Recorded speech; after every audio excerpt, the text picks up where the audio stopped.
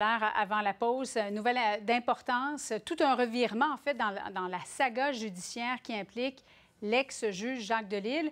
Sébastien, la Cour d'appel qui vient de casser l'arrêt des procédures qui avait été prononcé contre lui.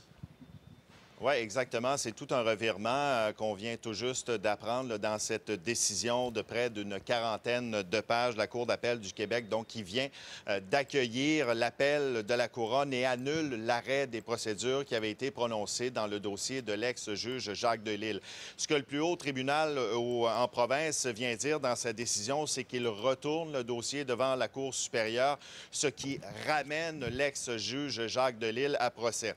On replace tout ça en perspective parce qu'il faut le rappeler qu'en avril 2022, euh, Jacques Delille devenait libre à 86 ans. il n'avait pas à subir de deuxième procès pour le meurtre de euh, sa conjointe en raison de ce qui avait été défini, je cite à ce moment-là, comme étant une négligence inacceptable d'un expert de la couronne. À ce moment, le juge avait donc accueilli la requête en arrêt des procédures dans le dossier de l'ex-juge, mais voilà qu'il y a ce revirement aujourd'hui. On vient casser cet arrêt des procédures, ce qui ramène l'ex-juge Jacques Delille, aujourd'hui âgé de 88 ans, euh, à procès.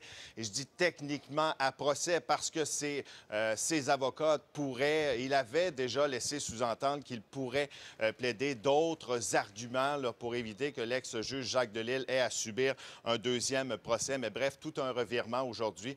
dans cette saga judiciaire aussi, qu'il faut le rappeler, qui dure depuis maintenant près de 14 ans. Hmm. Il avait été libéré, Sébastien, en terminant. Il n'était plus en prison. Il avait été libéré, il avait soufflé un soupir de soulagement. Je me souviens, j'étais dans cette salle au quatrième étage au Palais de justice lorsqu'il y avait eu le, prononcé de cette décision, cette lecture complète de la décision qui avait été faite à ce moment-là par euh, le juge Aymon. Euh, l'ex-juge Jacques Delille n'avait pas émis de commentaires à ce moment-là, voulait vivre ce moment euh, en famille, mais il était libéré à ce moment-là de toute accusation.